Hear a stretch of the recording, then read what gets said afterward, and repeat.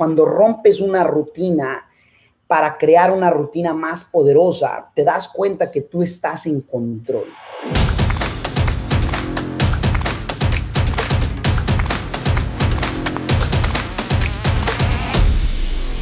Bienvenidos a cada uno de ustedes, muchachos. Una chulada de poder pasar unos minutos con ustedes. Hey, el día de hoy quiero hablar contigo Pónganme máxima atención porque el tema del día de hoy yo le puse, la riqueza es un comportamiento. Número uno, viene siendo a veces entre más miras, menos ves. De forma física, entre más miras, menos ves la visión o menos tiempo pasamos en nuestro interior. Qué interesante, ¿no? Y es bien importante entender esto. Menos visitamos, obviamente, las cosas que hacen el impacto más drástico. ¿Por qué? Porque estamos más distraídos por lo que miramos que enfocados en lo que realmente deberíamos de enfocarnos para la transformación.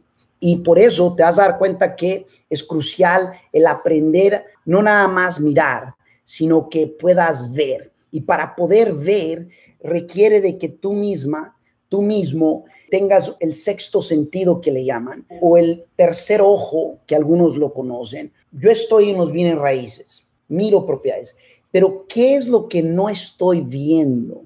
Muchas veces existe el valor escondido en ciertos tratos y yo mismo me he tenido que desarrollar en ese aspecto.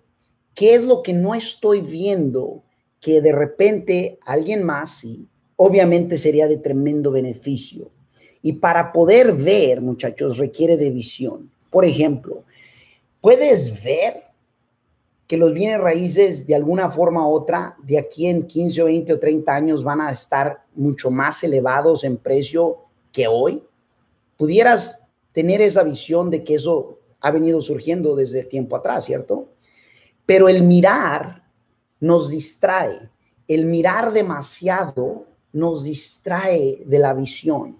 Y por eso es importante el que tu visión esté tan clara y que visites más la vista de, la visión que haga que las distracciones sea bien chiquita y que tu visión sea bien drástica. ¿Aprendes para acumular o aprendes para transformarte? Espero que sea la de transformación. Eh, yo recuerdo en mi primera década aprender solo por ganar, pero no por el hecho de, de aprender para transformarme. Segunda década, aprendo para transformar y en agregación para empoderar. Número tres, muchachos. Número tres, aquí viene la número tres. La riqueza es un comportamiento. Lo tangible de esa riqueza, lo tangible, porque aquí hay dos, está lo tangible y lo intangible. Tangible, tienes tu casa, tu carro, tienes dinero. Tangible, eh, eh, tienes experiencias. Por ejemplo, aquí nosotros estamos en un Airbnb aquí en Tampa la intención es bien importante. Lo estamos haciendo para poder no nada más vivir ciertas experiencias, pero interrumpir una rutina que es muy común. Cuando rompes una rutina para crear una rutina más poderosa, te das cuenta que tú estás en control, no que la vida te controla, sino tú estás en control. Entonces, la riqueza es un comportamiento, muchachos.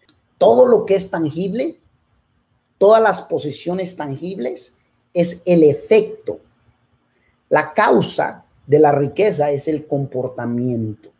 Entonces, hay causa y hay efecto. Y la causa es cómo uno se comporta.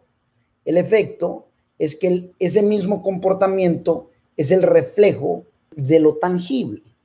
Entonces, lo intangible, como no se ve, se mira ¿ok? Hay comportamiento que tú lo logras mirar, pero no lo logras ver, porque el que ve entiende lo que acabo de decir, que la riqueza es un comportamiento.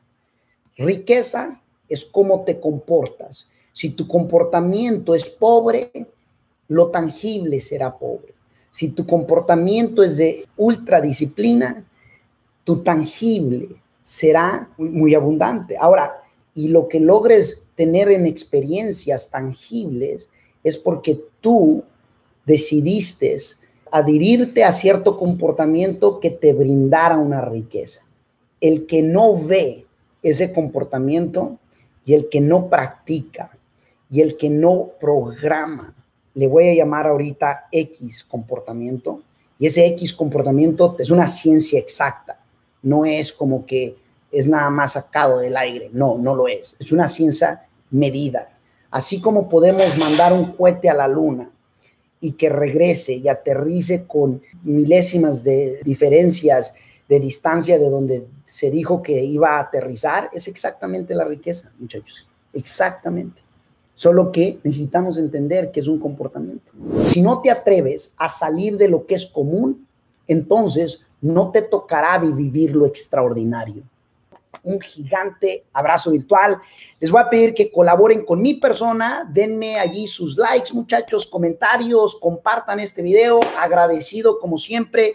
Felicidades y recuerden, muchachos, que si hay otra, aún hay más, solo que al final siempre depende de ti. Nos vemos. Gracias.